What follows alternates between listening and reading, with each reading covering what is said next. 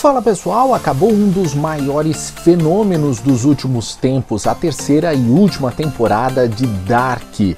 Por isso a gente fez um vídeo aqui para mostrar um pouquinho do final, se você entendeu, e também algumas referências que ficaram na série.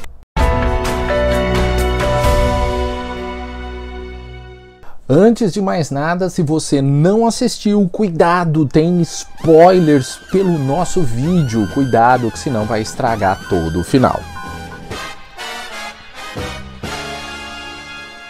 Vale a pena destacar duas coisas importantes na série que estavam ali, na nossa cara, o tempo inteiro. A abertura da série tem uma espécie de espelho mostrando por diversas vezes cenas dos personagens, indicando que existe ali mais de um mundo.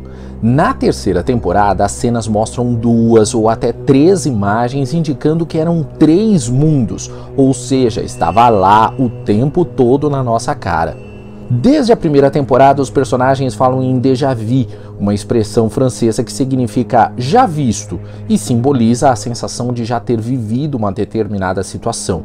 Marta e Jonas sentem isso por diversas vezes e citam o filme Matrix.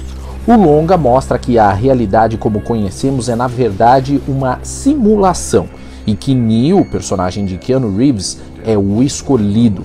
E em Dark, Marta e Jonas também são os escolhidos. E essa informação acaba sendo muito importante, porque não importa o que Marta ou Jonas façam, eles não vão conseguir alterar nem o passado, nem o presente e nem o futuro. Jonas e Marta acabam até virando inimigos na série, o que vai contra toda a história de amor entre os dois. No último episódio, Cláudia visita Adam depois que ele tenta acabar com os dois mundos e falha. Cláudia revela que ele falhou por um motivo simples. Aquele não é o mundo de origem, tampouco o segundo ou uma cópia do primeiro. Há um terceiro mundo e é este o que começou tudo Assim, o mundo de Jonas, que acompanhamos desde o piloto, e de Marta, que conhecemos no final da segunda temporada, são criações deste outro mundo de origem.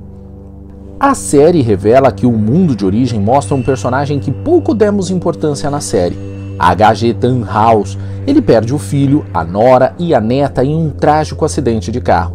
Transtornado pelo acontecido, ele cria uma máquina do tempo para voltar ao dia do acidente e evitar a morte de seus entes queridos o experimento na realidade dá errado. Ele acaba criando duas realidades, a de Jonas e Adam e a de Marta e Eva. E estes dois mundos são parecidos com o original, mas com pequenas alterações. Alguns acontecimentos surgem em tempos diferentes e algumas pessoas vivem em épocas totalmente distintas daquelas em que se encontravam originalmente, o que acaba dando tudo errado. Para desfazer o erro, é preciso que Marta e Jonas resolvam sozinhos o problema. É simples, eles impedem a morte do filho, a neta e a nora de Tannhaus, e a máquina do tempo nunca é construída, destruindo os dois mundos e ficando apenas o terceiro, onde Marta e Jonas não existem. E por mais complexa que a série foi, o final foi bem mais simples do que se imaginava, mas apesar de tudo, acabou sendo um final muito bonito, uma verdadeira história de amor.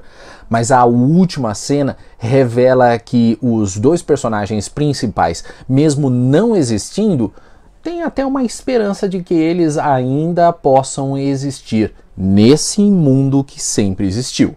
Durante um jantar surge a conversa sobre a cidade, família e filhos.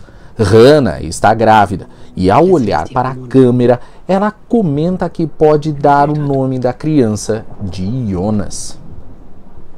E aí, gostou do final da série? Com tanta viagem no tempo, ficção científica na veia, no final das contas era uma história de amor. Mas você gostou do final? Deixa nos comentários o que, que você achou. Um abraço para você, a gente volta a se encontrar no próximo vídeo.